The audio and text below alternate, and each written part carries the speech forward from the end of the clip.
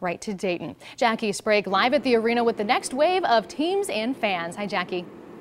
Good evening, Katie. Well, right now, the Ohio State men's basketball team is inside UD Arena practicing for their matchup tomorrow night against Iona, and hundreds of fans are in town to watch their team practice for free.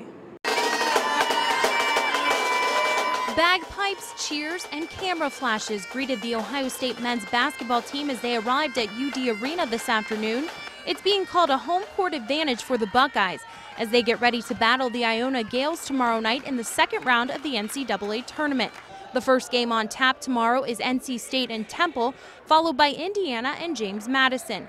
Hoosier fans were also in the house today as the faithful watched their team practice this afternoon. I think it's going to be great. Uh, should be a lot of exciting dunks here. That's what I want to see. You know, they've been a fun team to watch this year. They play exciting basketball.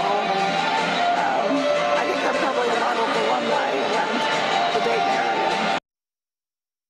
Ohio State should be wrapping up its practice right now. Notre Dame is set to take the court next. Iona and Iowa State will also be practicing tonight. All practices are free and open to the public. So if you don't have anything to do tonight, it's a great thing to come down here and see those teams practice. Now, coming up at 5:30, I will tell you what you need to know before you head down here tomorrow.